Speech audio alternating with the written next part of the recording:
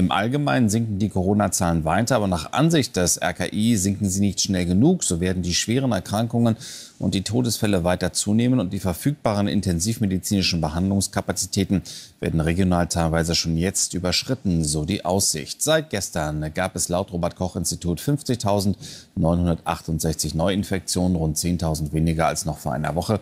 Die 7-Tage-Inzidenz ist ebenfalls leicht gesunken auf 331,8. Die Hospitalisierungsrate liegt bundesweit bei 5,17. Seit gestern gab das laut RKI 437 weitere Todesfälle. Rund 58,2 Millionen Menschen sind inzwischen hierzulande doppelt geimpft.